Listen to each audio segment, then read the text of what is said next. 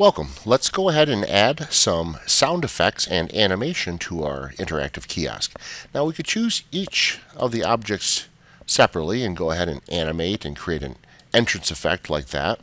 And we want to verify and make sure that we're at least after previous. You, you may want some with previous. What this will do is this will make this automatic so that we're not um, really locked into the kiosk mode yet but um, when you do, you want to make sure everything's automatic so that uh, your, your, your button clicks are sort of disabled, and this will help uh, things work smoothly. Um, I'll go ahead and select this text and give it, uh, let's see, we'll maybe we'll fade that in. And if you notice here, after previous, let's take a look at the animation pane, that you'll see that things do not have a mouse next to them. They have a little timer. And that shows that they're sort of automatic. Now what you really want to do is not, not make these very long in duration. So I like to go down to about a quarter second. If you play, there we go. Something very quick like that. And let's say we want to animate this. We can choose, uh, well, there's a pretty, pretty good one in here. Let's see. If we don't like any of the ones you see, you can go to More Entrance Effects.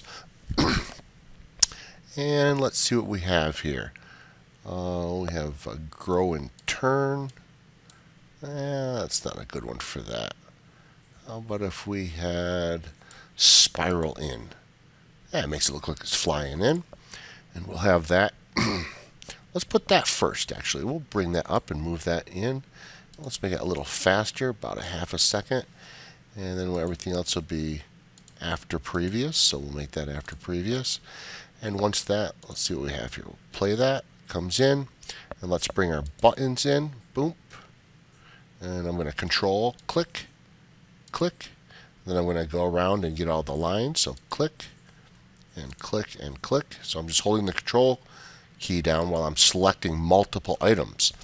So what we're going to do is we're going to have those, I think we're going to have those wipe. And then what we'll do is we'll go around and change the options. So for this one, being this one right here, 1. Let's have that wipe from the left, like that. And then we'll have that elbow connector do the same thing, wipe from the left. And then we'll take this object, and we'll have that one wipe from the right. And then that elbow connector, do the same thing, wipe from the right. And let's say this, this button will have it wipe from the right. And then if we can, we'll take this elbow connector and we'll have it wipe actually from the bottom. Suits that perfectly. And let's see what we have here. We'll play it from right here from the buttons. And we'll make each one of those. So we'll shift and click, selects all of them. We'll have them after previous and we'll bring them quite quickly. And let's play that from there again this time. And if you wanted to, you can match your elbow connector up so we can move that one up to that snipped diagonal and this elbow connector up to there. So now your button will come up, then elbow, then button, then elbow, then button, then elbow. So let's see if that works. Let's see how it looks. One, two, and three. Very good. Now we should probably animate this guy. Let's have that just float like that and we'll have that after previous. We could we could leave this one a little slow because what we'll do is we'll do this set. Now remember, there's some. If you saw part one, you'll notice that there are multiple objects. I'm going to have to move this text out of the way just so I can select that box. And then I'm going to have to select this text and the button. And what I'm going to do is I'm going to have that fly in all from the uh, from the right and then let's put the text back. Now I had to do that because I wasn't being able to select it. And we'll do that. And what we'll do is we'll have all of these guys come out together. So we'll have this come with previous and this one with previous.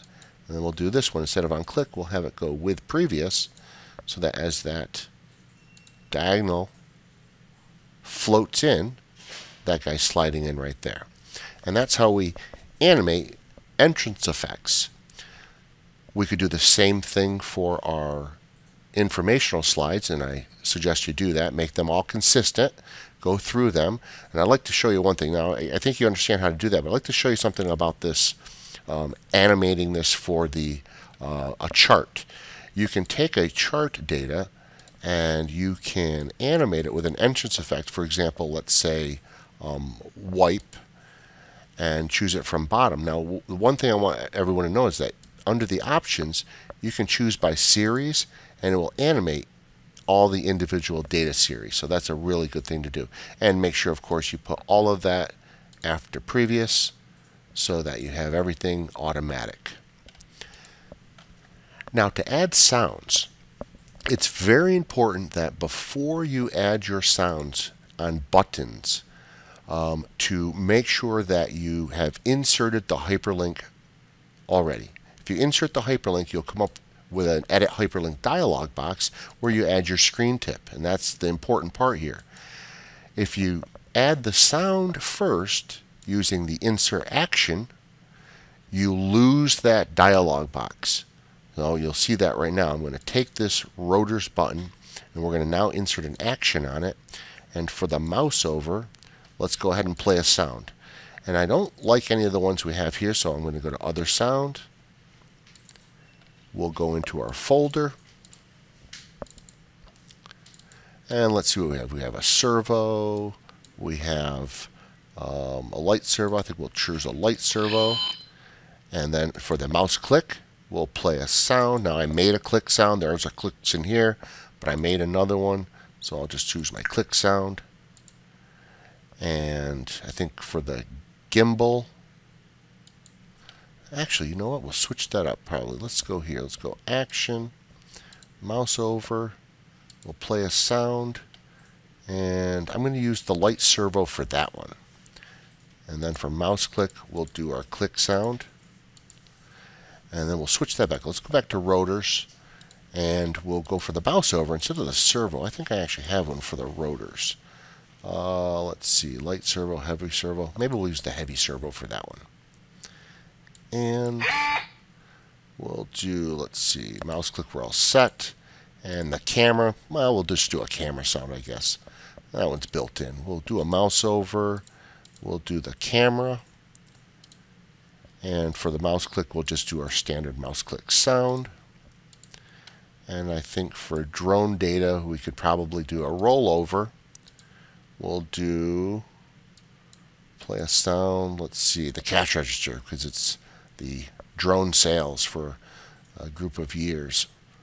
and then as they click, we could use the standard click or the click sound that we made. So that's how you add basic sound. So if we test that, when we roll over those, we hear the sound. And if we click, and then we can add one to our main menu. Let's go ahead and do that. So with our main menu button, let's go and insert an action. Mouse over. We're going to play a sound. I have one somewhere. Let's see here, other sound. I have my main menu sound.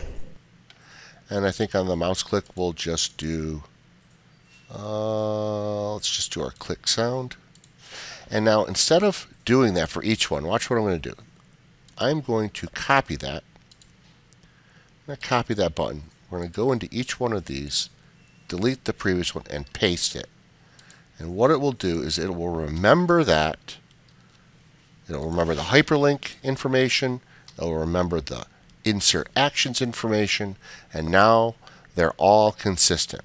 I want to go back here one more time, and now I want to show you what I mean by once you've inserted the hyperlink and then gone and added an action, you do not have that dialog box back. So look, it's back to this.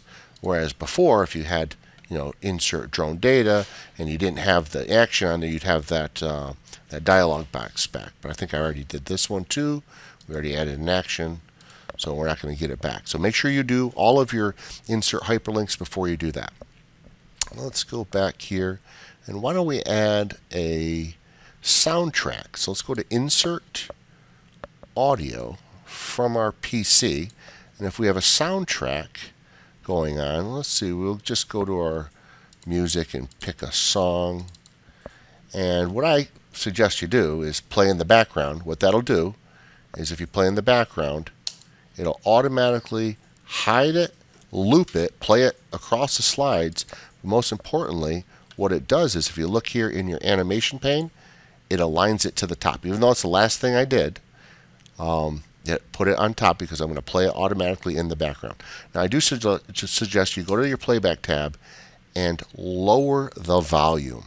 It should be in the background, it should be unobtrusive, and let's test it out.